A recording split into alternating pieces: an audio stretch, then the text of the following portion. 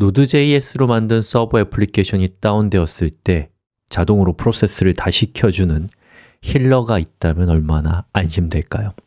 소스 코드가 변경되었을 때 자동으로 프로그램을 껐다가 켜주는 조수가 있다면 얼마나 편할까요? CPU 코어의 숫자만큼 프로그램을 실행해서 사용자의 동시 요청을 왔을 때 동시에 처리할 수 있다면 얼마나 효율적이고 빠를까요? 지금부터 이런 환상적인 일을 해주는 프로세스 관리자인 PM2 수업을 시작하겠습니다. 이 수업은 Node.js로 만들어진 앱들의 운영을 위해서 필요한 PM2를 다루는 수업입니다. 그렇기 때문에 Node.js를 전혀 모르신다면 이 수업을 들을 수 없습니다. Node.js 기본 수업을 먼저 보시고 참여하실 것을 권해드립니다. 자, 이것이 PM2의 홈페이지인데요. PM2 홈페이지에는 PM2를 프로세스 매니저라고 소개하고 있습니다. 자, 프로세스는 컴퓨터에 저장되어 있는 프로그램이 실행이 돼서 메모리에 올라가 있으면 걔를 프로세스라고 해요. 즉, 동작 중인 프로그램을 의미하는 겁니다. 그 프로그램을 체계적으로 관리해주는 도구라는 뜻이에요. 뭐에 대해서? Node.js로 만들어진 프로그램에 대해서 자, PM2를 설치할 때는 여기 있는 이 명령을 이용해서 설치하시면 됩니다. 자, 설치를 해볼까요? 자, npm install pm2-g는 글로벌하게 설치를 하라는 뜻이죠. 자, 우리가 하려고 하는 일이 뭔지를 좀 보자고요. 자, 지금 보고 계신 이 앱은 어, 아주 간단한 웹서버를 하나 만든 거예요. 그래서 이 앱을 실행을 시키면 3000번 포트에서 저 웹서버가 리스닝하고 클라이언트 요청을 기다리고 있다가 요청이 들어올 때마다 여기 있는 i의 값을 화면에 출력해주고 다시요, 콘솔에 출력해주고 그리고 사용자의 클라이언트에게 그 i 값을 전송해 준 다음에 i 값을 일씩 증가시키는 앱이에요. 자, 이 앱을 우선 실행을 시켜 봅시다. node app.js로 실행을 시키고요. localhost의 3000번 포트로 접속을 하면 보시는 것처럼 접속할 때마다 숫자가 올라가죠. 누구 때문이에요? 이 코드 때문에. 그리고 여기에 출력되는 것은 바로 여기 있는 이 코드 때문이죠. 근데 숫자가 이씩 올라가는 것은 접속할 때마다 안타깝게도 favicon.ico라는 파일도 요청하기 때문인데 그거는 무시하자고요. 자, 우리가 PM2를 사용했을 때 첫 번째 효용을 좀 살펴보겠습니다. 자, 지금 보고 계신 이 화면은 HTOP라고 하는 툴인데요. 어, 저의 컴퓨터의 상황을 보고 컴퓨터의 여러 가지 프로그램들을 관리하는 툴입니다. 저거 없어도 돼요. 여러분 구경만 하시면 됩니다. 자, 이 중에서 우리 검색을 통해서 어, 지금 실행한 앱 JS를 찾아보면 여기에 있습니다. 3728번이라는 아이디로 실행되고 있거든요. 저걸 제가 꺼보겠습니다 자, 샌드를 누르면 꺼졌어요. 즉, 어떠한 애플리케이션이 동작하고 있는데 걔가 의도하지 않은 사고로 인해서 꺼질 수가 있단 말이죠. 근데 그게 꺼졌다는 사실을 우리가 알아채는 데는 시간이 걸릴 수밖에 없습니다. 여러분이 PM2를 이용하면 그 프로세스를 관찰하고 있다가 그 프로세스가 꺼지면 자동으로 PM2가 걔를 켜지게 할 수 있어요. 이게 PM2의 첫 번째 효용이라고 얘기할 수 있습니다 자, 그럼 프로세스를 만들어 봅시다. PM2 examples,라고 하게 되면은 여러분이 자주 사용할 만한 명령어들이 나오거든요. 그 중에 첫 번째, 프로세스를 시작하는 명령이 저거예요. 자, pm2 start app.js 저 뒤에 있는 name은 쓰지 않아도 됩니다. 자, 그럼 보시는 것처럼 이렇게 화면이 나오고 다시 명령을 입력할 수 있는 상태가 됩니다 즉, 우리가 뭘 한 거냐면 pm2를 이용해서 app.js라는 이 프로그램을 프로세스로 만든 거예요. 그리고 그 프로세스는 백그라운드로 돌아가기 때문에 바로 우리가 명령을 입력할 수 있는 화면이 나타나게 되는 것이죠. 자, 그러면 잘 동작하고 있는지 확인하기 위해서 접속을 해볼까요? 접속이 잘 되는 걸 볼 수가 있습니다 자, 그러면 우리가 이 얘기를 시작했던 이유가 뭐였어요? 프로세스가 꺼졌을 때 자동으로 켜지는 기능으로서 PM2를 쓴다라고 말씀을 드렸죠 자, 우리 서치를 한번 해볼까요?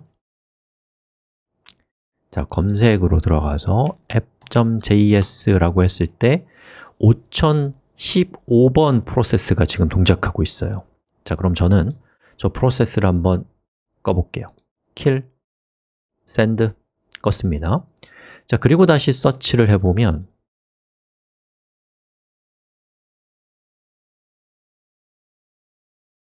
보시는 것처럼 프로세스가 있고 번호가 바뀌었죠. 즉, 프로세스가 꺼졌다가 새로운 프로세스가 PM2에서 다시 켜졌다라는 그런 뜻입니다. 자, 그럼 여기에서 우리가 PM2의 현재 프로세스 리스트를 보고 싶을 때는 요 위에 있는 명령어 중에서 pm2 ls 리스트의 약자겠죠?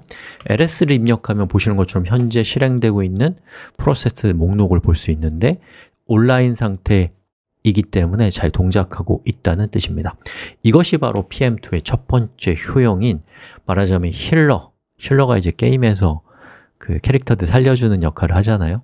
그런 역할을 pm2가 한다는 것이죠 자, 우리가 PM2를 이용해서 프로세스를 키는 법을 살펴봤으니까 그 다음에 해야 될 것은 멈추는 법, 다시 시작하는 법, 그리고 삭제하는 법을 살펴보자고요. 자, PM2 요 위쪽에 보시면 어, stop, start, restart가 있거든요. PM2라고 하고 여기 있는 이 프로세스를 제가 stop하고 싶다. 그러면 stop이라고 하고요. 엔터를 쳐보면 stop 뒤에 올 수 있는 여러 가지 명령어들이 나오는데 여기 첫 번째 id는 이 프로세스의 고유한 식별자인 id예요.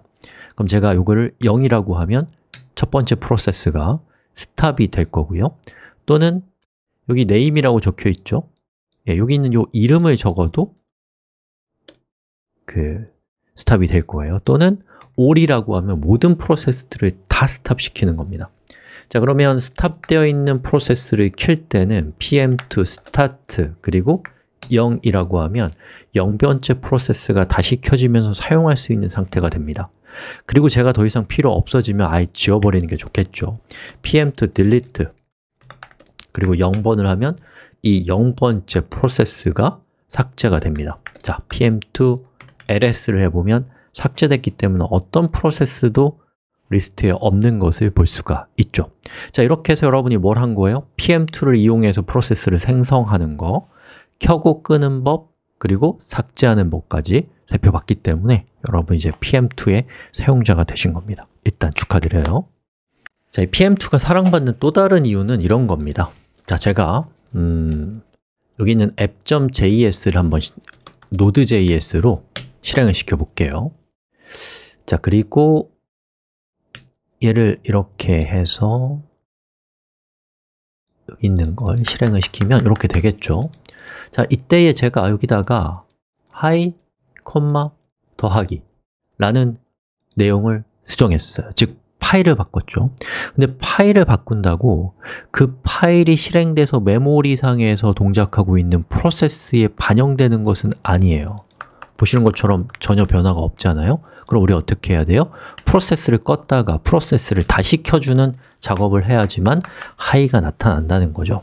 자, 이게 별 문제는 없는데 개발할 땐 이게 엄청 불편해요. 자, 이럴 때에 우리의 코드를 째려보고 있다가 코드가 수정됐을 때 자동으로 프로세스를 껐다 켜주는 조수가 있다면 얼마나 편리할까요?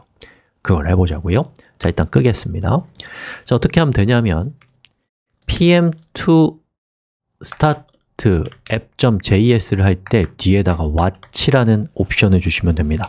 자 이렇게 하게 되면은 pm2가 app.js라는 코드를 째려보고 있다가 수정되면 프로세스를 껐다 켜줘요. 자 볼까요? 자, 여기 hi라고 적혀 있는 부분을 제가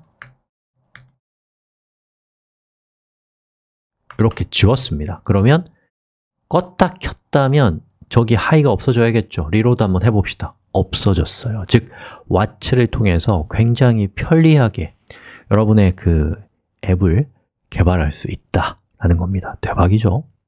자, PM2가 좋은지 아시겠죠? 근데 좀 안타까운 게 있어요 뭐냐면 우리가 앱을 개발하다 보면은 여러 가지 이유로 인해서 콘솔을 출력할 때가 있거든요 그러면 이제 콘솔이 이렇게 화면에 출력이 되기 마련인데 PM2는 백그라운드에서 동작하기 때문에 우리가 얘를 실행을 시켜도 화면에 콘솔 메시지가 보이지 않는단 말이죠 그럼 어떻게 해야 될까? 자, 이때는 PM2가 가지고 있는 명령어 중에 로그라는 명령을 입력하면 지금 현재 실행 중인 프로세스들의 로그를 하나의 화면에서 이렇게 모아서 보여줍니다. 자, 제가 실행을 시켜볼까요? 그럼 보시는 것처럼 이렇게 실행이 되고요. 제가 만약에 여기 있는 코드를 수정을 했다.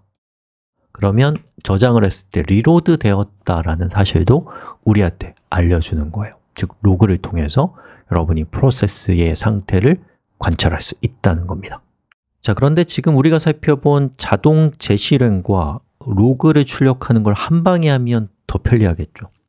자, 그걸 하는 방법을 좀 살펴보겠는데요. 자, 일단 지금 실행 중인 pm2를 삭제를 합시다.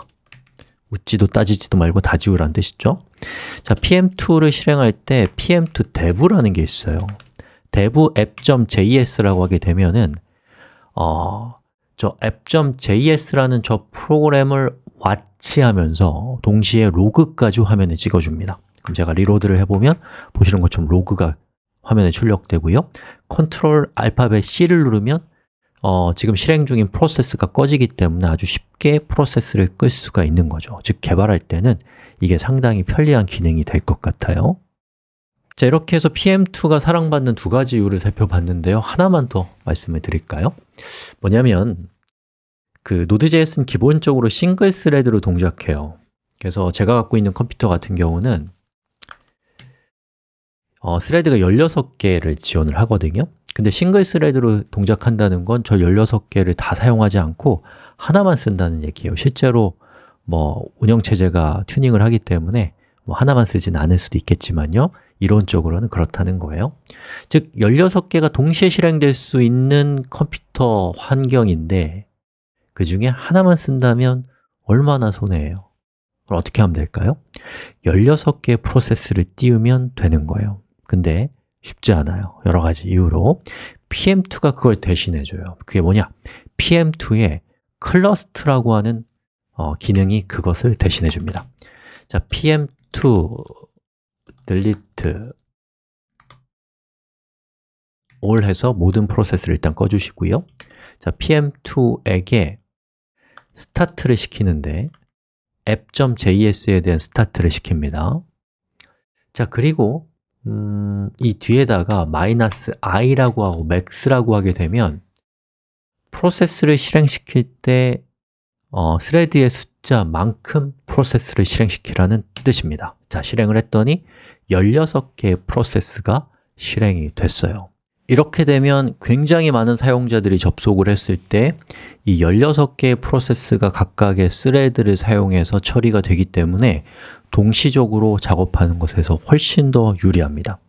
그리고 여러분이 이 프로세스들을 다 어, 끄고 싶을 때는 삭제하고 싶다. 그러면 pm2 delete all 하면 이 프로세스들이 전부 다 삭제가 되는 것입니다 자, PM2가 어떤 친구인지 대충 아시겠죠? 즉, 프로세스를 이 개발자들을 위해서 관리해주는 도구예요. 자, 근데 이제 PM2가 갖고 있는 또 다른 기능 중에 하나는 컴퓨터가 꺼졌다가 켜졌을 때 자동으로 프로세스들을 자동으로 켜주는 기능을 PM2가 또 제공을 한단 말이죠. 그게 바로 startup script라는 기능이거든요. 자, 이걸 한번 살펴봅시다. 자, 제일 먼저 할 것은 PM2 스타트를 해서 앱을 일단 실행시키는 거예요. 그럼 앱이 실행이 되겠죠. 저는 하나만 시켰지만 뭐 클러스트로 해서 여러 개를 실행시킬 수도 있을 거고요. 자, 그 다음에 이제 pm2 save라고 하는 명령을 실행을 시키면 이 경로에 현재 실행되고 있는 프로세스들에 대한 어떤 상태가 저장이 됩니다. 그리고 pm2 startup 이라는 명령을 실행을 시키면 각각의 운영체제별로 그 운영체제가 실행됐을 때 어, 동작해야 되는 여러 가지 프로세스들을 실행시켜주는 기능이 있거든요. 그 기능을 활성화시켜주는 이렇게 생긴 명령어를 생성해 줍니다. 이 명령어를 복사해서 붙여넣기 해서 실행을 시키면 PM2가 이 컴퓨터가 꺼졌다가 켜질 때 우리가 세이브를 통해서 저장해 놓은 뭐랄까요? 프로세스들의 상태를 복원해서 재실행을 시켜줍니다. 그러면 컴퓨터가 꺼졌다가 켜졌을 때도 우리는 프로세스들이 실행되도록 할 수 있다는 거죠. 이걸 우리가 직접 할 수 있지만 귀찮고 어렵거든요. 그걸 대신해주는 기능이 pm2 startup script라는 기능이에요 자, 조금 복잡하니까 정리하자면 일단은 여러분이 앱들을 키는 거예요. 그리고 그 앱들의 상태를 세이브를 해놔요. 그 다음에 startup script를 생성을 하고 그 생성된 것을 실행을 시킵니다. 그러면 컴퓨터가 꺼졌다 켜져도 프로세스들이 자동으로 실행될 것이다 라는 것입니다. 자, 그 외에도 PM2는 굉장히 많은 기능을 가지고 있는 정말 괜찮은 세련된 툴인 것 같아요. 그래서 여러분들 구석구석 좀 살펴보면서 PM2가 어떤 기능이 있는가 또 어떤 도움을 주는가를 좀 구경해 보시는 시간을 가져보시는 것도 좋을 것 같습니다. PM2를 이용해서 여러분의 애플리케이션이 안녕하시길 기원합니다. 축하합니다